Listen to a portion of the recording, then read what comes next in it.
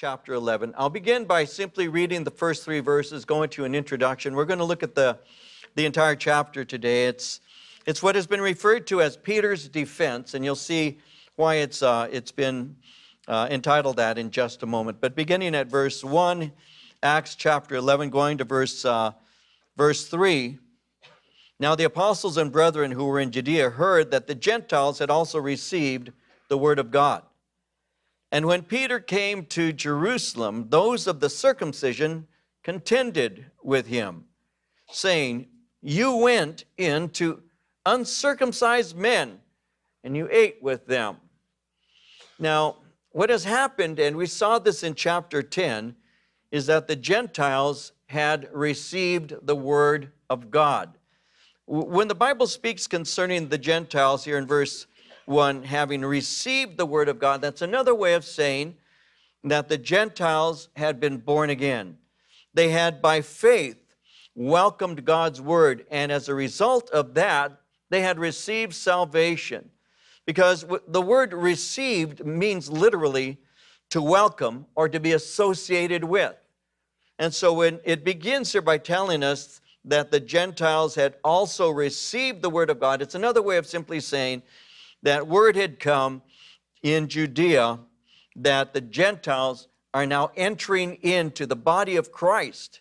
They have received God's word and they have been saved. And so the people in the area when this happened in that region, uh, when it happened, began to speak about it, and word had begun to filter all the way down south. It had traveled south to the city of Jerusalem. Now, there are those who are hearing this who are concerned as they do so, as they hear, because this, this um, reception of the Word of God by the Gentiles is countering their traditional understanding of how salvation occurs. So you see, they, they normally would have thought, now these are Jews, they normally would have thought that in order to have a relationship with God, then you would have needed to have been, if you were male, circumcised, and you most certainly would have been brought under the law. And so, as they're hearing this is taking place, and the Gentiles are entering into the kingdom of God, without following Moses' law and without being circumcised in the ritual sense, well, they begin to be concerned about it. And so what happens in verse 2, it says that Peter came to Jerusalem. Those of the circumcision began to contend with him. And this is what they were saying You went into uncircumcised men and you ate with them. Again, as I mentioned to you, that when, when Peter went and spent time with Cornelius in the home of a Gentile, that, that broke Jewish law and tradition. There's no way that a kosher Jew would ever have fellowship with an uncircumcised, unkosher Gentile. And so that's what we saw happen when he went and spoke to them, gave them the word of God. And that's when, when Peter had that initial revelation that, that God is not a respecter of persons, but that anybody, whether Jew or Gentile, who hears the gospel of grace and embraces it by faith can be saved and enter into the kingdom. Well, that was a new revelation to him, but it's something that these people have yet to be initiated into. And so they're upset about it, and they're beginning to contend with him concerning that. Now, when it says here in verse 2, those of the circumcision, uh, that can be speaking of uh, Jews, you know, just regular Jewish people who had, had been saved. But we need to also remember that among the early believers were Pharisees, and Pharisees who had been converted to faith in Jesus Christ. Yes, Pharisees actually were coming to faith in the Lord. We'll see later on in chapter 15, verse 5, how it says there some of the believers who belonged to the party of the Pharisees stood up and said, The Gentiles must be circumcised, required to obey the law of Moses. So, so there was the regular Jewish uh, people who were perhaps contending and upset, and there were more than likely some Pharisees also who were upset about this. And so they're becoming stumbled by this seeming lack of religious respect and all. We need to remember that Jewish customs were normally followed. The Jewish believers at that time were, were meeting in synagogues, they were still going to the temple. Many Jews believed and were not yet breaking away from the traditions that they had received. And that happens even today amongst those who are not raised in a, in a Jewish sense, but that, that still exists today with those who are, who are coming to faith in Christ and, and perhaps who were raised in a particular religious tradition. And so they, they continue to believe and to hold fast to the things that they at one time had embraced because that's what they had been taught to believe. I don't know what your background is. My background being Roman Catholic, when I got saved, I got saved, and the next week I went to Mass because I was now a Christian, but I didn't necessarily think in terms of me, and I never have thought in terms of me being now a Protestant. I didn't think of it that way at all. So, what I did is I went to Mass, I went to church because that's what Christians do. And I went to the Catholic Mass at St. Pius X Church. I brought a Bible because when I got saved, I was told you need to read the Bible. So I brought my Bible, went to Mass by myself, and I sat there.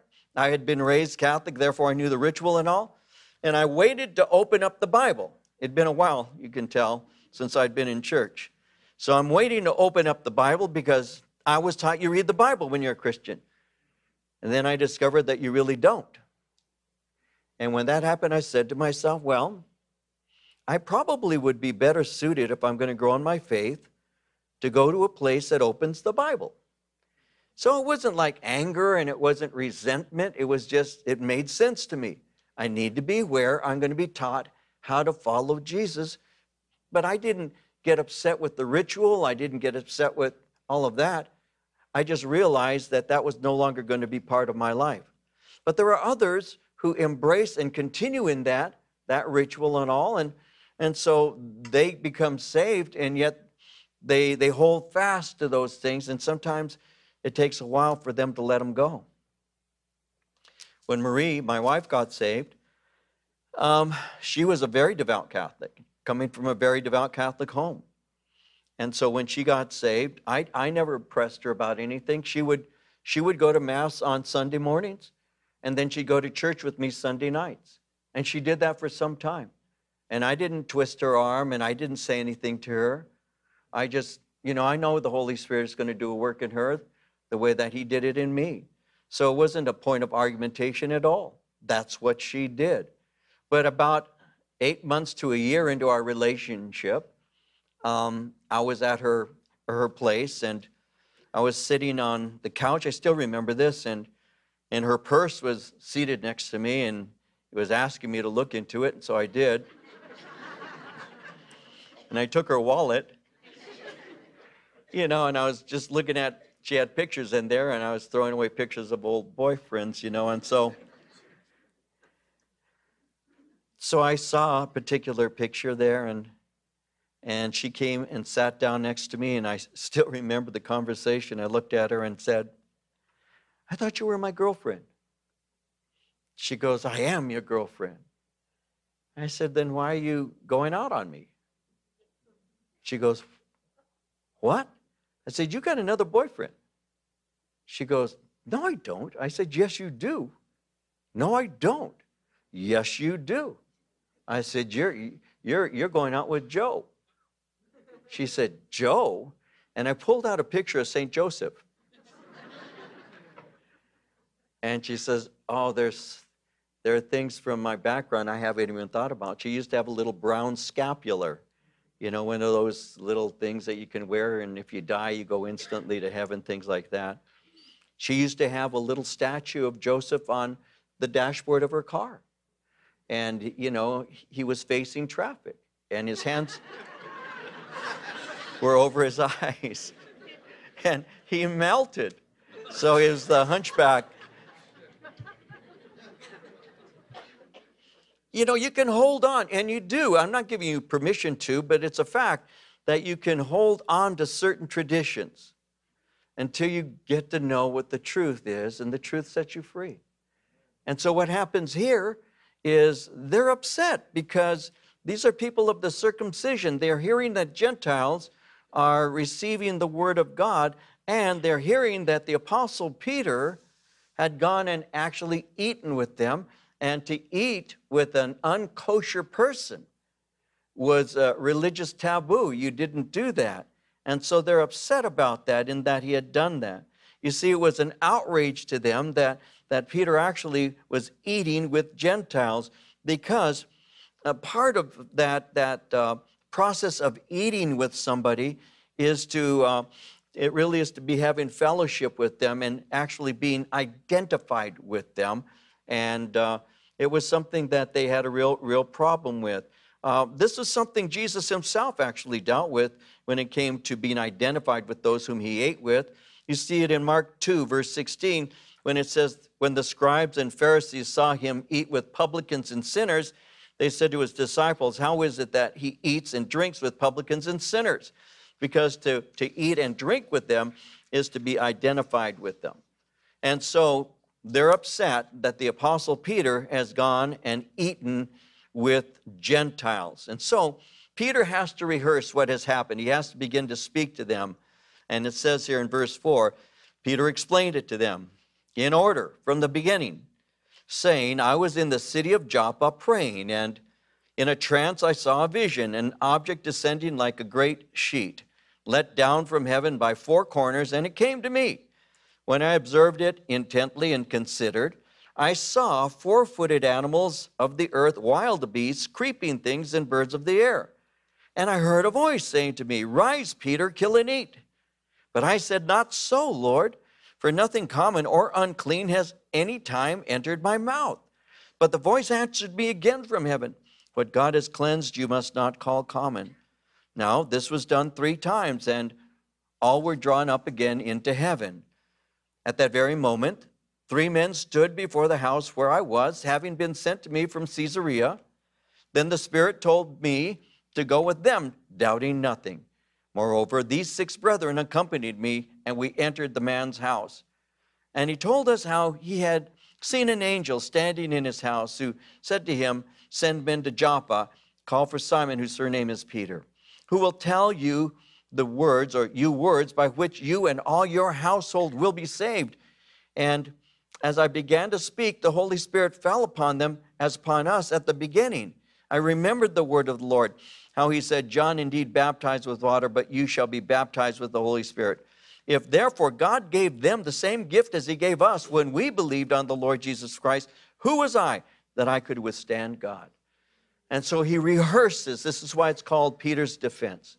He's rehearsing what had taken place. He's sharing with them how that these things had had, had occurred. And so they had a religious as well as a cultural opinion concerning the, uh, the Gentiles. So, how did Peter deal with that?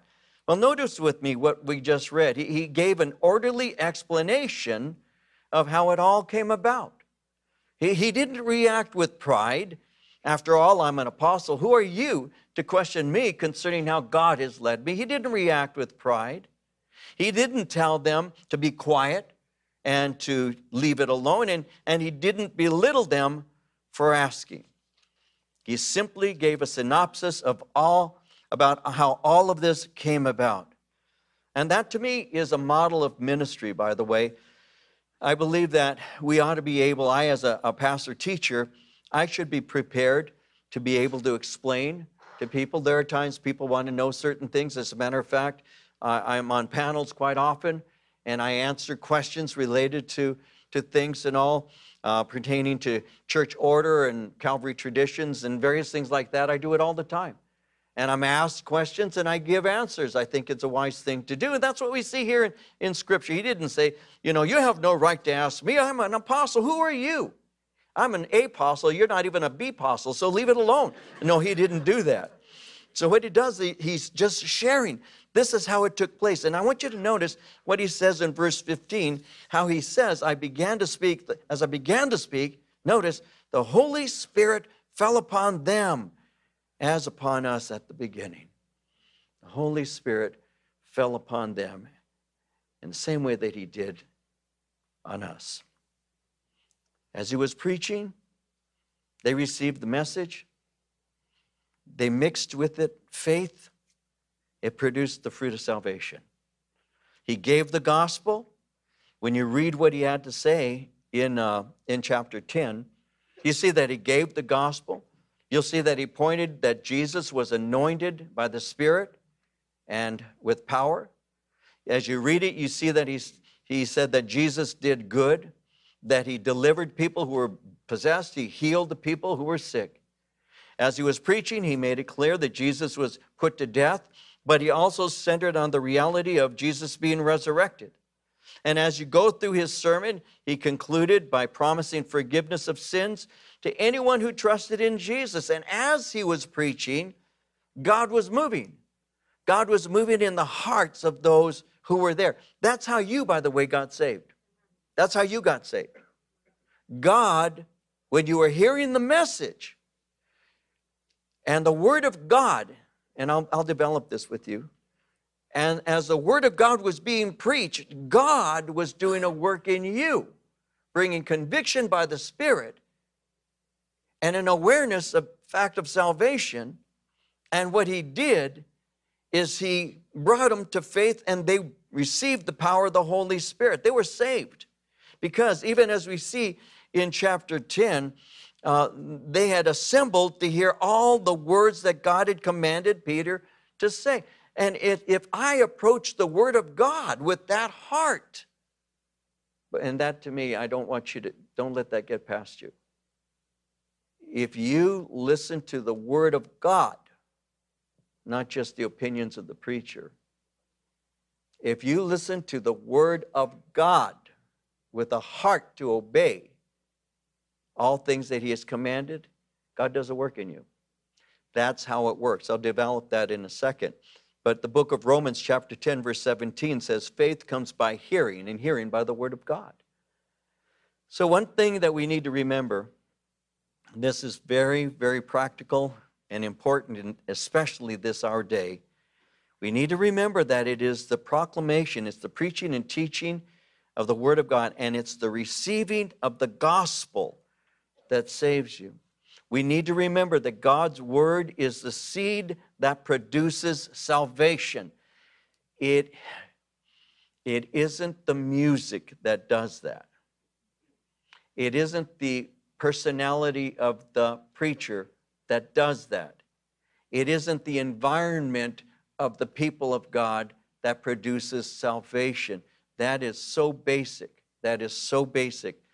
But if there's anything that is true of the church in the 21st century in the year 2017, is that it is very slowly being twisted to an entertainment oriented group of people. Absolutely. People who have no heart to hear the word of God and to obey it. There's no doubt about that.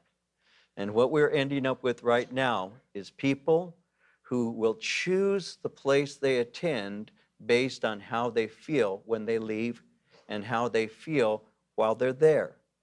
And when they're uncomfortable, because the conviction of the Spirit may reach their heart, rather than saying, Woe unto me, I'm a sinner, God help me, I want to be a better person, we simply say, I was condemned, I felt judged. When in reality, what God is doing is convicting you so that He can turn you from your sin so that you might be blessed by Him and have the life that you've always desired to have. But instead of us saying, God, reveal my heart, we have a tendency of saying, don't judge me. I wonder what would happen if the Lord were able to really show me the condition of my heart, if I would really be open to seeing that. Because I know of all people, I can be most self deceived and think I'm doing just fine, thank you very much, when in reality, my pride, my arrogance, my lack of humility could be keeping me from the blessings of God. And so we have to be very careful that we understand that when the Word of God is being proclaimed, if you want to change, and there's a desire you need to have, God will give you the ability to. And as He speaks the Word to you through His Bible, what happens is the Word of God takes root and transformation can occur. When um, Paul was writing to Timothy in 2 Timothy in chapter 3, verse 15, this is what he said to Timothy. He said, You have known, listen, you have known the Holy Scriptures which are able to make you wise for salvation through faith which is in Christ Jesus. It's the Word of God, when received by faith, that produces the ability to be saved. It doesn't come any other way, it comes through the Word of God. That's why I've had uh, young parents ask me in the past um, about doing devotions with their children. And they'll ask me, What do you recommend? When my kids were small and we did what we called family devotions, which was a time set aside every night before they went to bed, where I would have them seated in front of me in the front room, and I would have them in front of me, and this is what would happen, you know. And they were kids, they were small growing up. And a lot of times when they're little kids, they'll, they'll start, uh, you know, bouncing into each other and getting irritated because he's too close to me. Oh, he's looking at me, you know, those kinds of things and there's that griping and oh don't touch me. And i'd say marie you're being a bad example to the children. You got to stop that.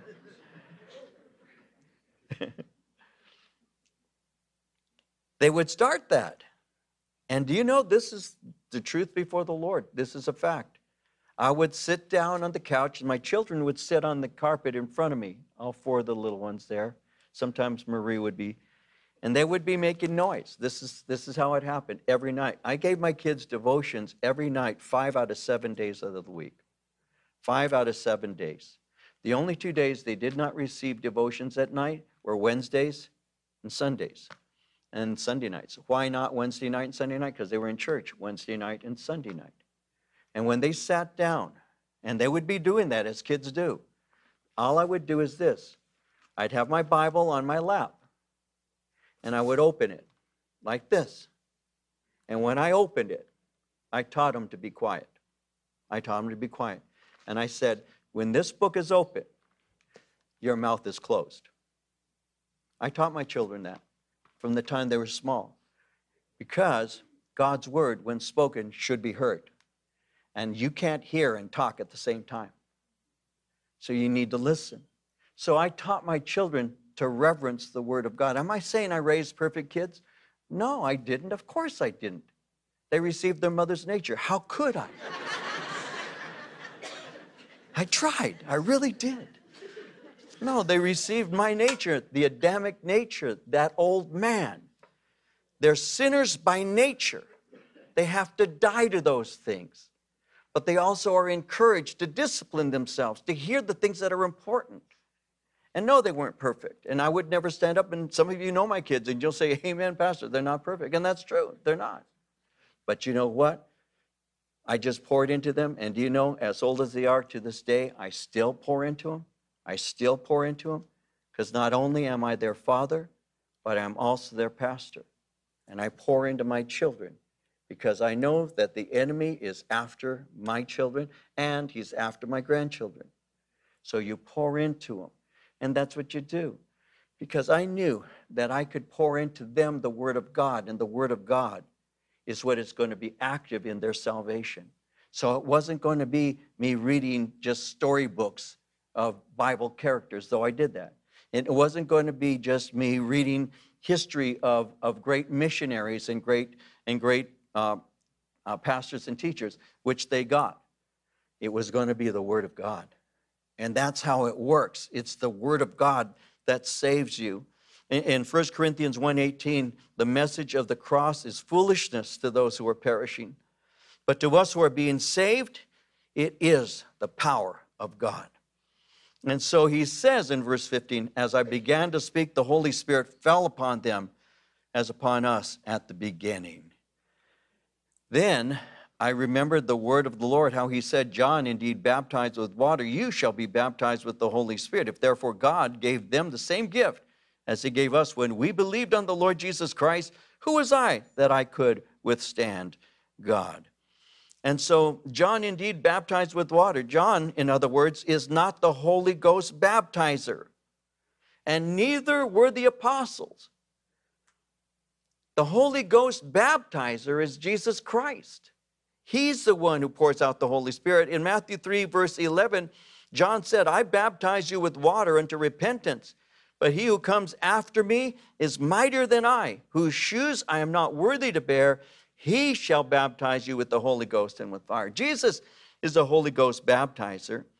And so because Jesus is, Jesus does that work. And as they were hearing the word of God and their hearts were turned to God, God poured out a Pentecost experience upon them. He poured out the Holy Spirit upon them, even as he says in verse 15, even as he had done upon them at the beginning. They had their own, if you will, their own session of what would be called a Pentecost. And God, he said in verse 17, gave them the same gift as he gave us when we believed. So he's saying this basically, listen, he's saying if you have an argument, argue with God. Argue with God. Now remember, the Apostle Peter had argued with God, and you, you don't win arguments with God. You just don't. You know, and Peter had argued with God when God said, Rise up, Peter, slay, slay and eat. And he says, Not so, Lord, I've never eaten anything unkosher. Peter had had an argument with the Lord, and then God just silenced him. He says, Don't call unclean what I call clean. End of story.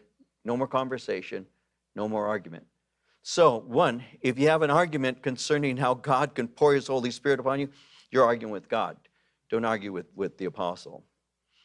Because arguing with God is not a good idea. Isaiah 40, verse 13, asks the question Who has understood the mind of the Lord or instructed him as his counselor? Who here has? This is the last time God called you or texted you and said, Listen, I have a problem and I could you give me some advice? I don't know what to do. Jesus is busy and I don't know where the Spirit's taken off to. No, I don't think so. How about, how about Job 21, verse 22? Can anyone teach knowledge to God since he judges even the highest? There are a whole lot of people who don't know God who think that they can instruct God. That's simply because they don't know him. And so, one, it's not a good idea to argue with the Lord, but two, uh, he points out that God is the one who gives the gift. He said, God gave them the same gift. God gave them the same gift, which is in reference to the Holy Spirit. So, the important thing to note in this is that the Spirit is given as a gift of grace and is not received by human efforts. God promised this gift, Christ purchased it, the Word reveals it, and thousands have experienced it, somebody said. And that's true. And so this is a gift. You, you do not receive the power of the Holy Spirit through any efforts on your part. You don't receive the power of the Holy Spirit through doing spiritual things or anything like that. Jesus said that the Father will give the Spirit to those who ask. And if there's anything, and this I, I want to emphasize for just a moment, if there's anything that the church, the body of Christ, needs right now, it's a refreshing in the power of the Holy Spirit. You have got to, many of you have got to be tired because you're trying so hard to be good. You've got to be tired. You've got to be trying so hard to be good. And the bottom line is, it's good to be disciplined in the things of walking worthy. I would never say be sloppy and just run around doing nasty things, of course.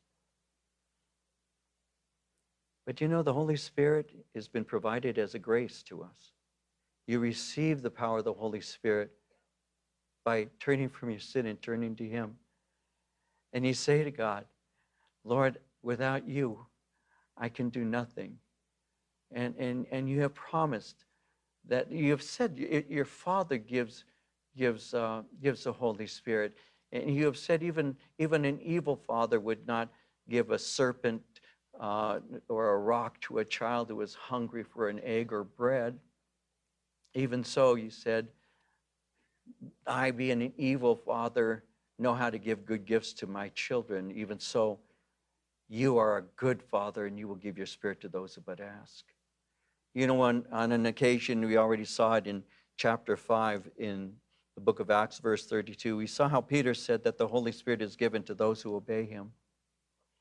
You know, we say, God, be merciful to me, a sinner. I need the power of your Spirit. Lord, I want Jesus Christ to be dominant in my life. I hate my flesh. I hate what I do in the flesh. I hate the way I can be when my flesh is dominant. I need your power, Lord. And I'll, I'll tell you what, you know, in, in many ways, using just a very poor illustration, you know, I'm a leaky vessel. I need to be refilled. I need to be refilled. My flesh can dominate I, I can begin to gravitate towards the, the things of my flesh. And, and resist even the power of the Spirit. So I need to be renewed in the power of the Spirit on a daily basis. And since I, I know that the promise of God, not by might nor by power, but by my Spirit, saith the Lord of hosts, is still applicable to us today. I know that Jesus said, You shall receive power after that the Holy Spirit has come upon you. I know that He has promised to give the Holy Spirit to those who believe and to those who ask. And if there's anything, guys, that you need right now, if there's anything you need and this church needs and the church in the United States and throughout the world needs, it's, a, it's an inundation, it's an outpouring of the Holy Spirit in our life. You see, one of the things that happened, let me give you a short and brief illustration that contains a bit of a history lesson. But what you need to do is you need to remember, and some of you were alive and others were not yet born, when God was doing a revival here in the United States and He began to pour His Holy Spirit out through what was called and has been referred to as the Jesus movement. And what happened at that time is something I believe God wants to continue to do, and that is that He began to pour His Spirit out on young people and all people, really, because Calvary Chapel, a lot of times I think of Calvary in my early days when I was 20 years old, and I saw a lot of young people. Part of the reason I saw a lot of young people is I went to what would have been youth kinds of things, and so there are going to be a lot of young people there. But in, in the reality of the actual church life, there were there were old people in their 80s sitting next to hippies in their, in their teens. It was made up of, of, of, uh, of businessmen and, and people who walked into the church barefooted. Uh, Pastor Chuck tells, used to tell humorous stories about how offended the uh, elders would get because the hippie kids would walk in barefooted. And I was one of those hippie kids who would walk in barefooted because shoes were just, who needs them? And, and, I, and I would walk in barefooted. I was always barefooted and uh, went to church barefooted, and it, we didn't even think about it. I never wore shoes anywhere, supermarkets, uh, anywhere. I did not wear shoes. As a matter of fact, when this church began, my mother's the one who made me wear shoes when I taught, because I would teach barefoot. I would kick my shoes off and teach barefoot. That's that's just me. At home, I never wear shoes at home. You know, I'm still a hippie at, heart. You know. And we would sit there, and I still remember sitting in in the the, the pews there and, and the communion cup holders. I, I remember getting my big toe stuck in one.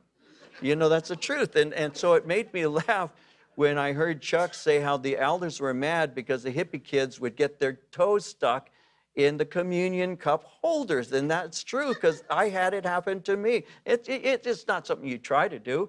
You know, you just cross your feet, and before you know it, you're pulling your foot out, you know, because your toe got stuck in it. And so I remember that with humor and all. But what, had, what happened? What happened was God began to move in through two things the Word and the Spirit. The Word and the Spirit. You know, Pastor Chuck would be invited to come to conferences. They wanted to hear the secret of how he's reaching through his ministry. All these hippies, he said on one occasion he was invited to go speak, and the guy who invited him more than likely expected him to be one of these preachers who cried and got very emotional. And Chuck said at the end of his message, the only one crying in the congregation was the guy who invited him. Because he was sad that he invited him, because he didn't have the emotionality and the personality. Because what Chuck did is he modeled to guys like me the power of the Word of God. And so he taught us, as my pastor, he taught us to love God's Word. But secondly, we were taught to rely on the power of the Holy Spirit. I just got today an invitation from somebody who said he wants to show me how to how he built his big church. His words. I will teach you how I built my church. Well, I guarantee you, if he built it, it will not last. Because Jesus Christ said, Upon this rock I will build my church, and the gates of hell shall not prevail against it. When it's built by Jesus, it lasts. When it's built by men, it dies. And any movement and any church that is built on the personality of a pastor, or the entertainment factor of the church, or the production of the entertainment factor of worship. Any church that is built on a man is going to fail. It always will. But when the church is built on Jesus Christ and His Word and the power of the Holy Spirit, it continues. And for those of you who do home Bible studies and do ministry, never forget that. It is the Word of God and the power of the Holy Spirit. And that's what we see taking place here. He is saying, as I was sharing, God brought them into the kingdom of God through the power of the Word and the power of the Holy Spirit. And that's how God works. That's why we don't put our trust in men, we put our trust in the Lord. Now, as this is taking place, verse 18, when they heard these things, they became silent and they glorified God, saying, Then God has also granted to the Gentiles repentance to life. Often, all we need to do is give a biblical explanation, and the problem is solved. Now, those who were scattered after the persecution that arose over Stephen traveled as far as Phoenicia, Cyprus, Antioch, preaching the word to no one but the Jews only. But some of them were men from Cyprus and Cyrene who, when they had come to Antioch, spoke to the Hellenists, preaching the Lord Jesus. The hand of the Lord was with them, and a great number believed and turned to the Lord. The news of these things came to the ears of the church in Jerusalem, and they sent out Barnabas to go as far as Antioch. When he came and had seen the grace of God, he was glad, encouraged them all that they, with purpose of heart, should continue with the Lord. He was a good man, full of the Holy Spirit and of faith. A great many people were added to the Lord. Then Barnabas departed for Tarsus to seek Saul, and when he had found him, he brought him to Antioch. So it was that for a whole year they assembled with the church and taught a great many people, and the disciples were first called Christians in Antioch. And so, persecution had arisen. Remember, persecution had arisen after Stephen had been martyred. We know that in Acts chapter 8, verse 1, it states that a great persecution arose against the church at Jerusalem.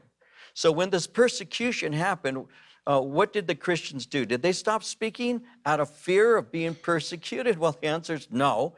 They took the message out of Jerusalem and took it into the world. So instead of stifling the message, the believers were more intent on sharing it. Now, as it states here in, in verse 19, at first they spoke only to the Jews. But when it goes on into verse 20, it says some of them were men from Cyprus, Cyrene, who and Cyrene, who, when they had come to Antioch, spoke to the Hellenists, preaching the Lord Jesus.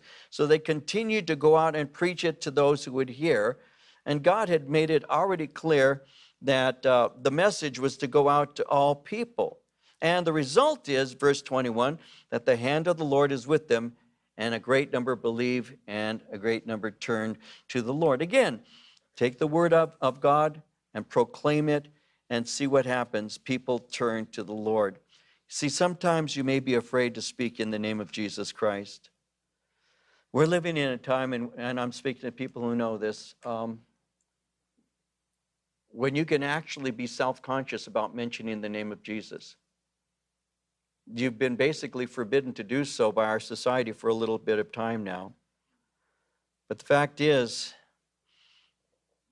if you really trust the Lord, if you really do, and you really believe the message, you're going to share it. Jesus in Luke 21 15 said it like this He said, I'll give you a mouth and wisdom which all your adversaries will not be able to contradict or resist. Um, you just need to, you just need to um, really believe the message. Uh, I'll say it like this very briefly. Um, I'm pretty open with my faith. I'm an old man now.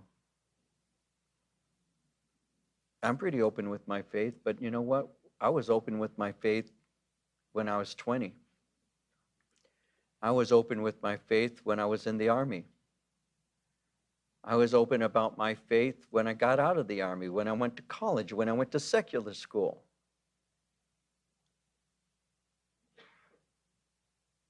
I've been around educated people. I've felt so stupid Because compared to them, I am. I am. I remember professors, one in particular, she had two, I believe it was two, two master's degrees and a doctorate. And I remember how intimidated I was by her. Yet I shared with her. Why? Because the truth is the truth. I've, I, I have, as a young college student, speaking to extremely liberal, extremely progressive professors, I would, I would sit in class, again, secular colleges, Cal Poly, junior colleges like Rio Hondo, Cerritos,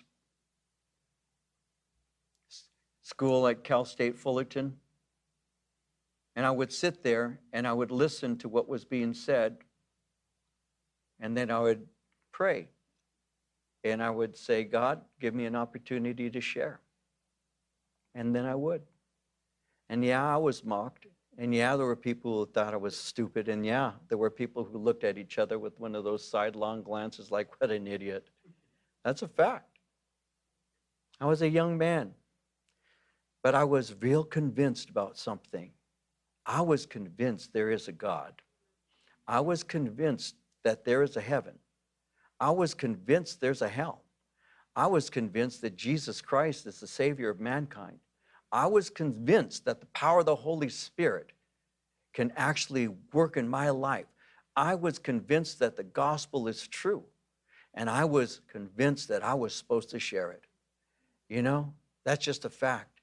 And, and eh, see, sometimes when, when people come to this fellowship, you may be new here and, and you see that that guy up there speaking and he, oh, he speaks like this, but he doesn't know what, what I go through. He doesn't know what it's like to sit in a college class with a, a brainiac professor who will mock you. the fact is, is yes, I do. And yes, I've been there. And yes, I've been mocked by professors. Yes. But that doesn't mean I should shut up. I discovered a long time ago when I tried to that I can't. I, I, can't. I can't. There have been times, forgive me, it sounds like I'm boasting about myself. I'm not, I'm trying to illustrate something.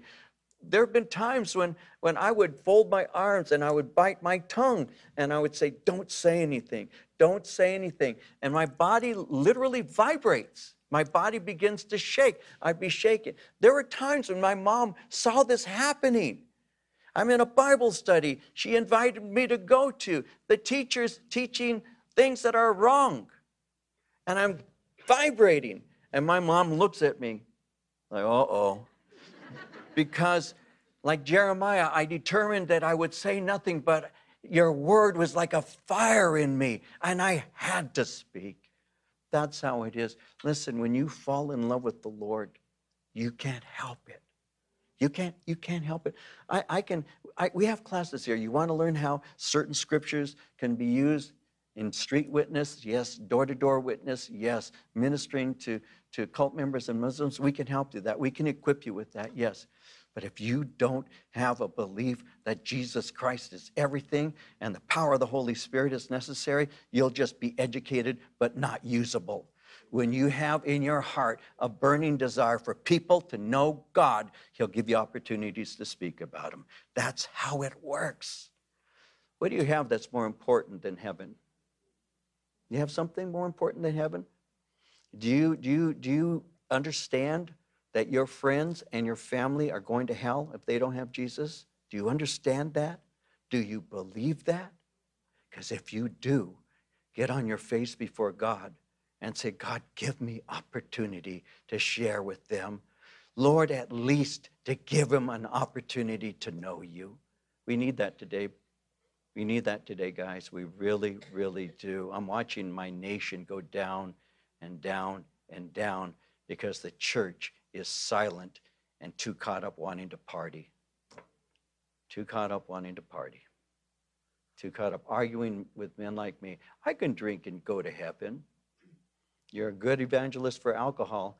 How good are you for Jesus? How good are you for Jesus? Because a lot of people are good for sin, but they're not good for Him. We got to be aware of that. What is your priority and where's your power come from? It comes from the Word of God and the Spirit of God. That's where it comes from. That's where it comes from.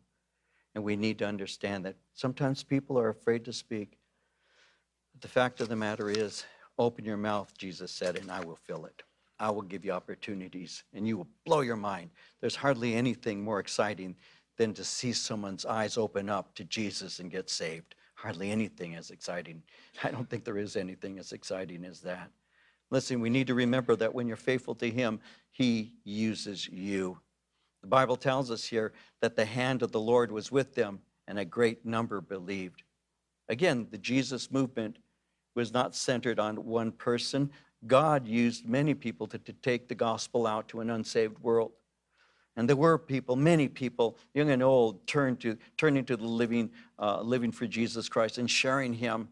And, and that's the bottom line. And, and one of the things that will ultimately stifle the move of the Spirit is when we begin to give credit to, to individuals and begin to honor people uh, over the one who's saving people. We have to be very careful with that. We need to be careful to give uh, all glory to the Lord. We need to remember also that successful ministry isn't based on externals. Some people think that you need to be eloquent, you need to be energetic, you need to be charismatic, you need to be handsome, persuasive, funny, inventive, culturally sensitive, young, you name it. No, what you need to be is in love with Jesus Christ.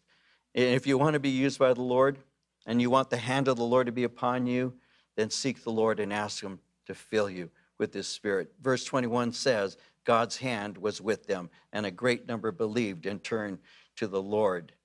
They were converted. And finally, in verse 22 following, it goes on to say, and I'll close at verse 30 news of these things came to the ears of the church in Jerusalem. They sent out Barnabas to go as far as Antioch.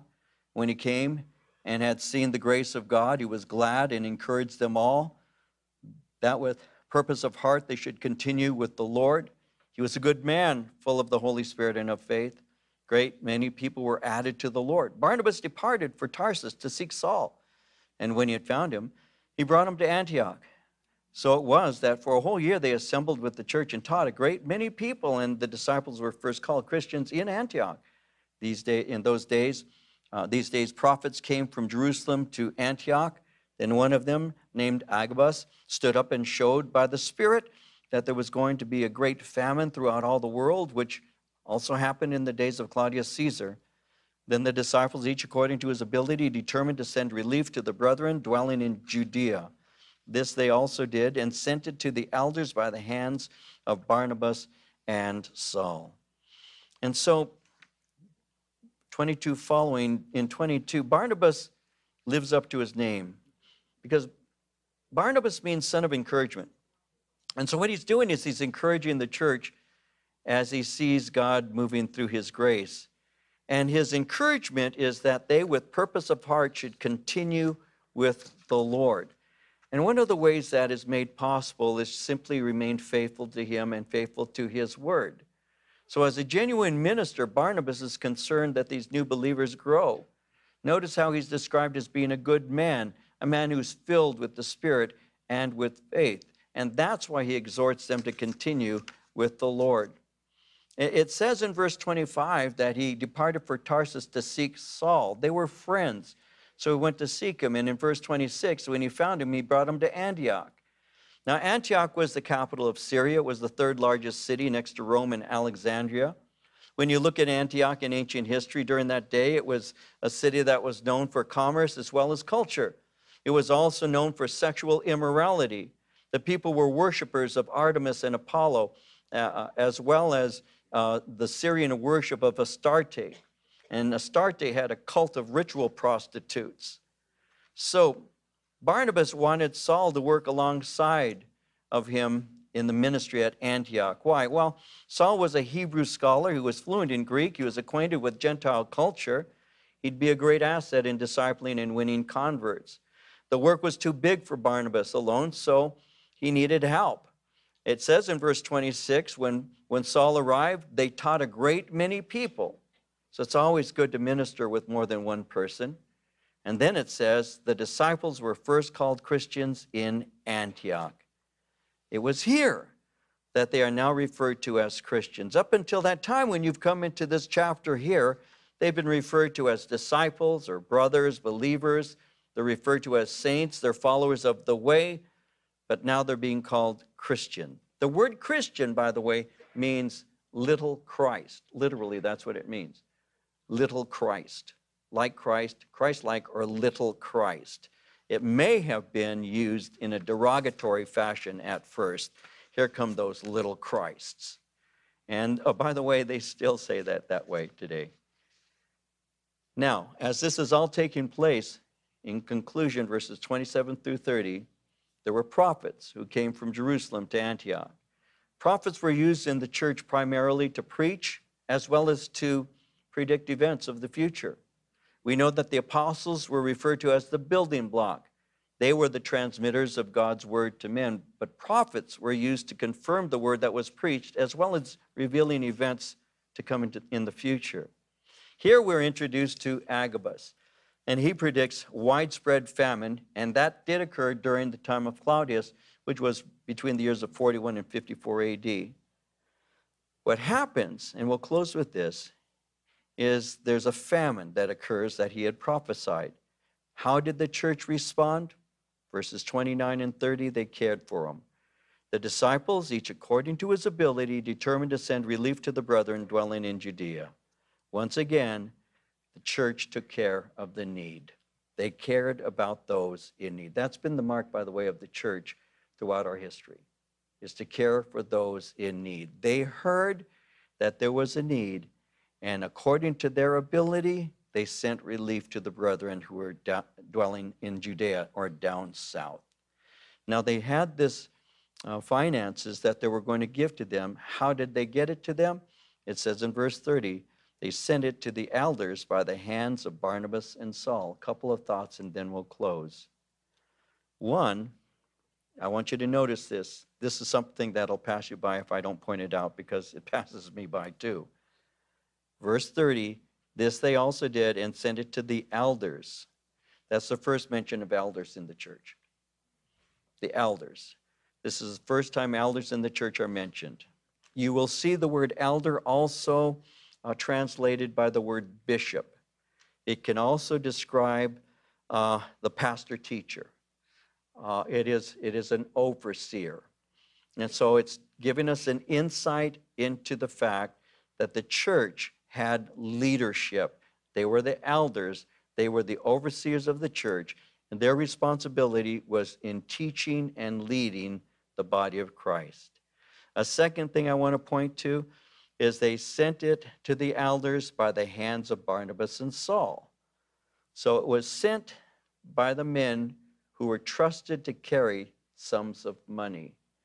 If there's anything that you need in ministry, it's trustworthy people when it comes to finances.